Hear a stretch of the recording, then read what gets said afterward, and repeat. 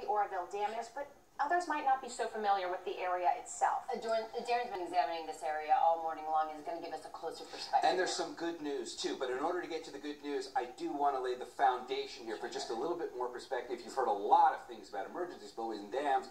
First of all, here's the big picture. Where's this dam? Well, you got to drive 70 miles north of Sacramento, first of all, to get up to the town of Oroville. That would take you just about an hour to get up there. And then once you do that, you turn up into the foothills, and that's where the reservoir is, which is, of course, formed because the tallest dam in the country is holding it back. That's Oroville Dam, and this is the second largest reservoir in California. That's the spillway. That's the way we want to release water from the dam, and that's the way we've been releasing water from the dam. Only about halfway down that slide, the concrete's broken up. So for a while, they thought maybe we shouldn't send so much water down that.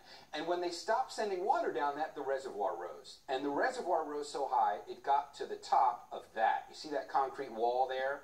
That concrete wall, that 30 foot high concrete wall, that is the emergency spillway. If you look in the distance there, that's the dam. That's the 770 foot high dam. The huge face of it's over there.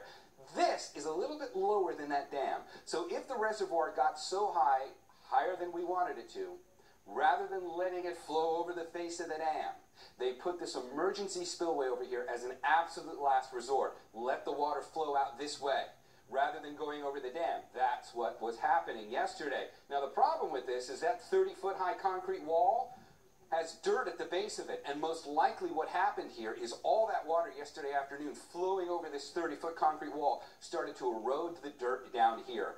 That then compromised the integrity of this wall. And for a time, for about an hour there, there was real concern this 30 foot wall would collapse, in which case you'd have a 30 foot wall of water rush down that hill.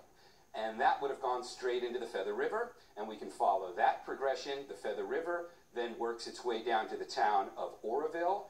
Oroville, you were under mandatory evacuations and still are under mandatory evacuations because this is not entirely out of the woods yet. You can see why Oroville's evacuations were mandatory then we get down towards Yuba City, and it was an optional. Can we go to the video for a second? And I want to talk about the good news. So there's the spillway doing what it's supposed to do. This is where the concrete broke, so you get a dramatic view. But the water flowing down this way today has looked a lot clearer than it did yesterday, and that tells us something.